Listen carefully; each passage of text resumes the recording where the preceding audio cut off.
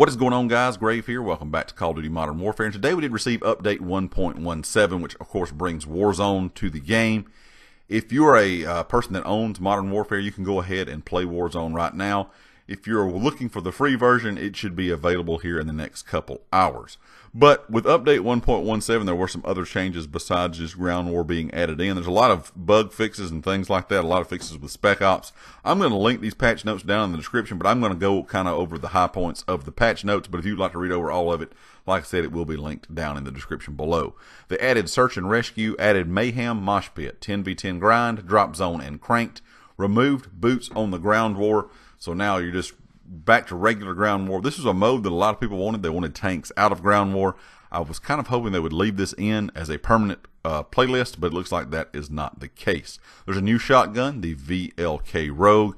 They fixed tons of bugs that were uh, with, or were not really bugs, I guess exploits on Hackney and Piccadilly, and it says various bugs for ground war and exploits uh, on ground war as well. So it looks like there's a lot of changes for ground war, for exploits and bugs, and the same for some of the 6v6 maps.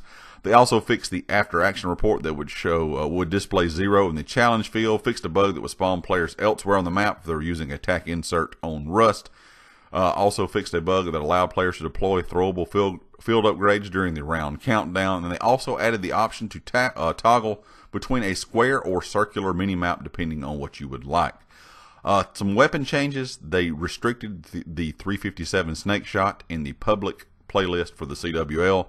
Uh, or the CDL, excuse me. Also, the sawed-off shotgun, the 725, got increased movement speed and increased ADS speed, but a reduced ADS damage and a reduced far damage range. But they did extend the very lethal close range damage. So it looks like it's not going to be as good at a distance, but very lethal up close. We'll kind of have to wait and see what happens. They also fixed the corruptor variant of the RAM, not allowing the use of scopes. Uh, they fixed a bug that would create infinite ammo glitch for the Model 680. Kind of going on for some other things, a lot of mission and challenge fixes. Uh, the one for Golem's third mission, of course, to get 50 kills with light machine guns, and now any vehicle will count if you need to run over people and get a certain amount of kills. Any vehicle will count for that a ton of classic and spec ops, classic spec ops and regular spec ops fixes. I'm not going to really go into those, but if you guys are spec ops players, you definitely might want to hop on and read over that. And for PC, of course, the crashes and improved stability. They added a new way for new players to simply kind of get into BattleNet and create an Activision account and fixed a few cases where certain social menu pop-up messages would display incorrectly in high aspect ratio, uh, ratios on PC. Anyway, guys, like I said, this is the update for today, 1.17. Like I said, of course, the big thing everybody's looking forward to is Warzone. Leave me a comment. Let me know if you played, let, yeah, played yet. And, of course, if you like the video, hit the like. If you haven't subscribed yet, please do so. And I'll catch you next time.